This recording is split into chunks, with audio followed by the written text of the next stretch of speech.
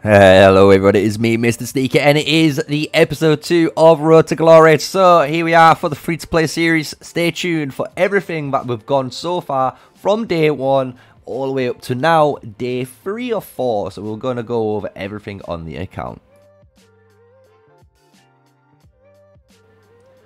Hello, so yes, we're going to be going over the account progress so far. As you can see, we've pushed all the way, when we zoom in actually, to City Hall 13 so far, and that's within three days of progress.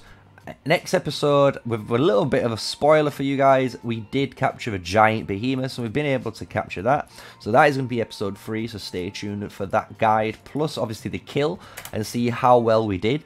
But as you can see, we are progressing the account, right? So I'm going to go over what I've been doing so far as a free-to-play player, and showing you guys what, you know, you should be trying to focus on, and obviously you can see what I've been working with, right?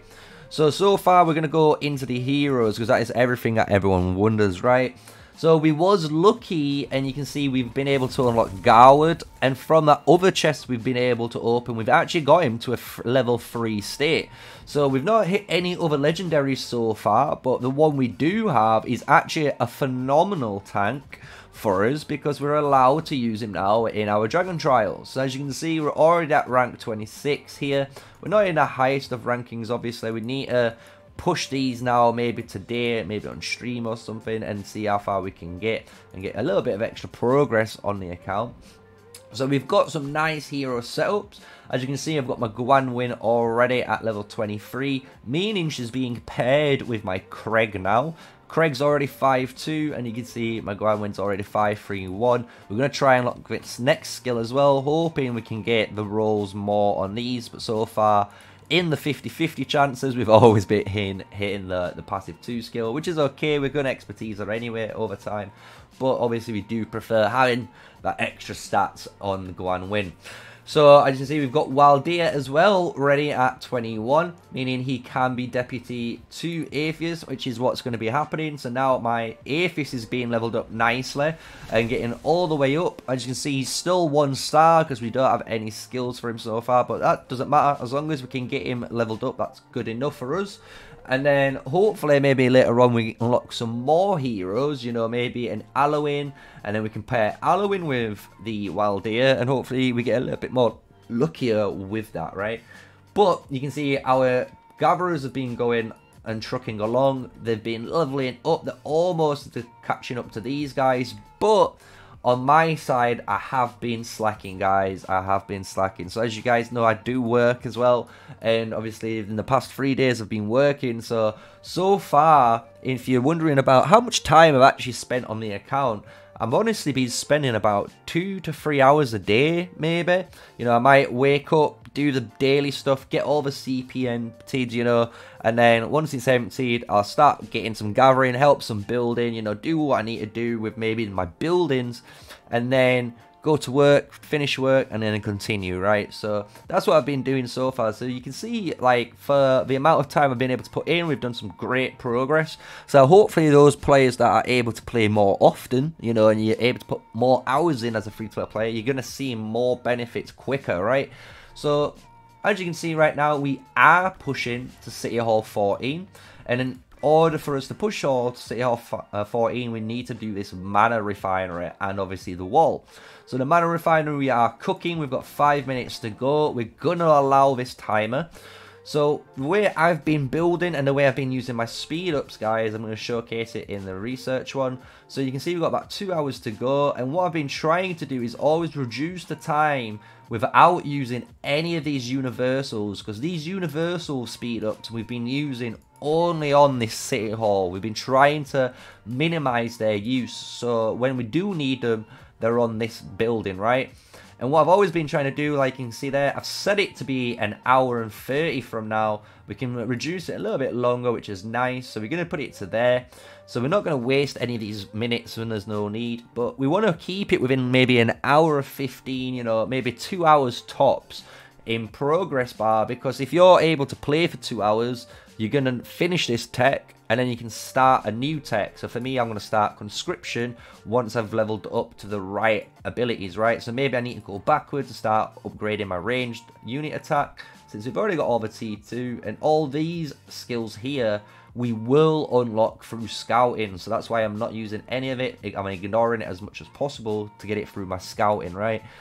So that's what we've been doing with tech, and like I say, with the buildings, we've been doing the exact same thing. So when it comes to the city hall, when we eventually do get to build it, what we'll do is we'll see how many hours it takes. We'll press the help button, and hopefully our allies will press the help button too. And obviously by doing that, it's going to give us that nice reduction on all our stuff we're doing.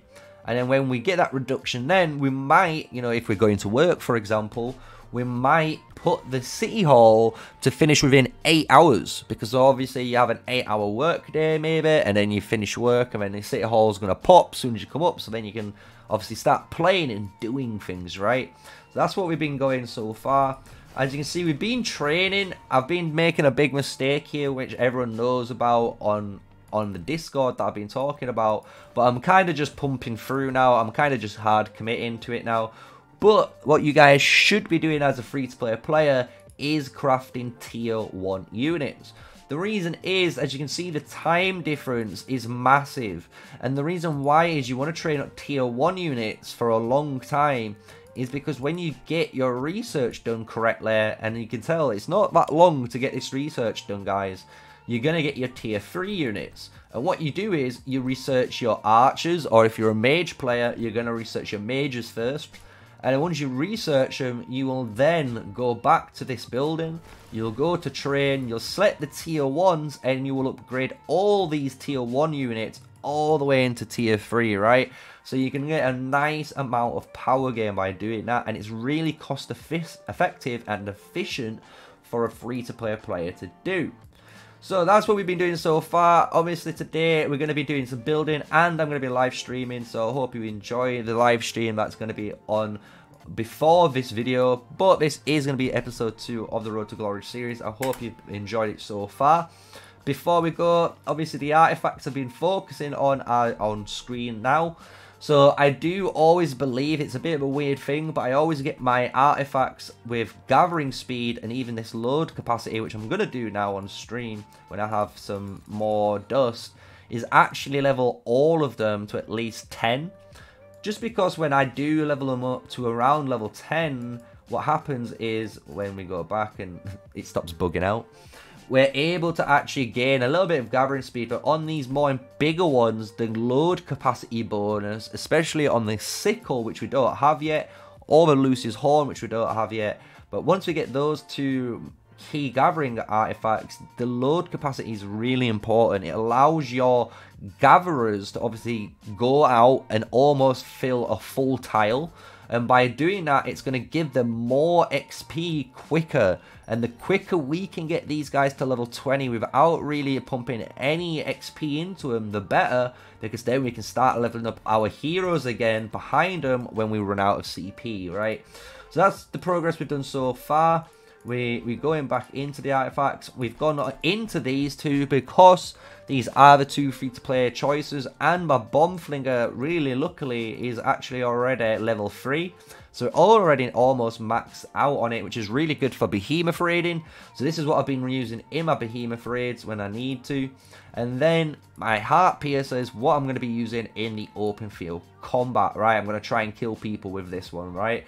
We could level it up with the star level if on the bombs of Flinger, but we are missing out on some Ascension materials right now. So that is going to be my grind today. We're going to be trying getting some more artifact pieces and artifact materials and getting on with it, right?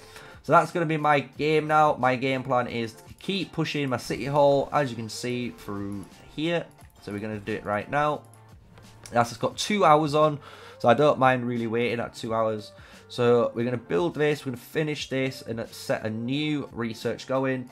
And once we've done hopefully this and this, we're going to start building or finishing this wall to then, you know, go onto the city hall, right? So that's my progress right now, guys. I hope you enjoyed it. You can see we're doing really well with the account, already over 500k power. If we go to the alliance menu, we can go and, and check the rankings you know, rank 39 in a, you know, top 50% again within a, a, a, you know, a massive server. So It's really nice to be that in our alliance. If we go, obviously, in the overall rankings, we're not going to be that close at the moment, but we're still in somehow the top 1,000 players, which is, again, for a free-to-play player, very commendable achievement, especially for someone like myself, who hasn't been able to play as much. But if we look at someone else that I know that is in the alliance, if we go over here, we can look at someone like Aleem or even um, he's not even here anymore, but Rev, if he was in this area somewhere, but Aleem and Rev, those guys, again, were free to play, so you can look at Aleem up in the top, and Aleem's nearly 600,000 power, and he's pure free to play, as well as, Kisiu is free to play, and I believe one might be free to play as well.